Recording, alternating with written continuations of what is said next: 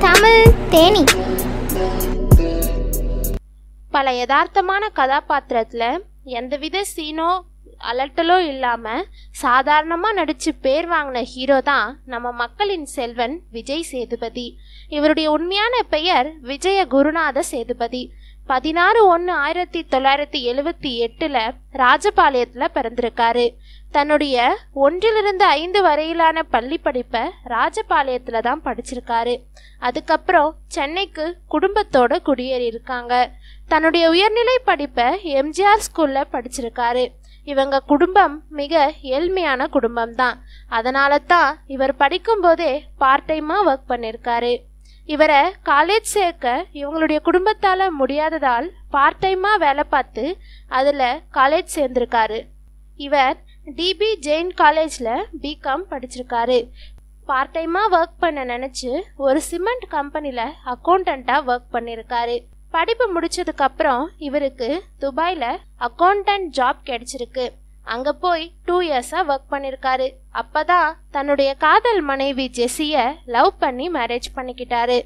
அதுக்கப்புறம் சென்னை வந்த இவர் வேலை இல்லாம கொஞ்ச நாள் இருந்திருக்காரு. அதுக்கப்புறம் தன்னுடைய ஃப்ரெண்டோட இன்டீரியர் டிசைன் ஒர்க் பண்ணிருக்காரு.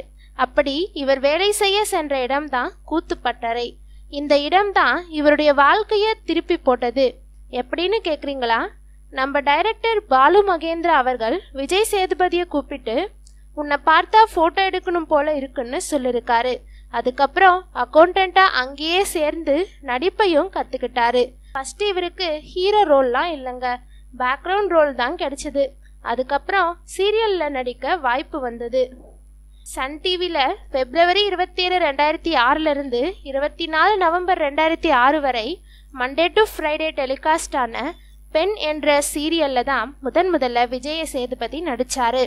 இது தொண்ணூத்தி தொண்ணூத்தி ஐந்து எபிசோடுகளை கொண்டிருந்தது.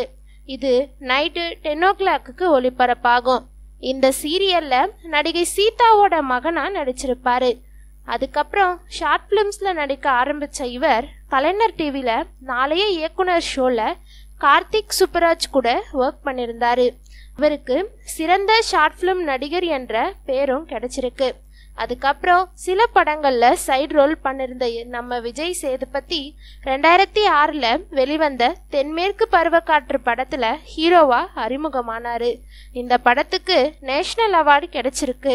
இதுக்கப்புறம் தான் இவருடைய கரியர் நம்ம தமிழ் சினிமாவில் ஸ்டார்ட் ஆச்சு.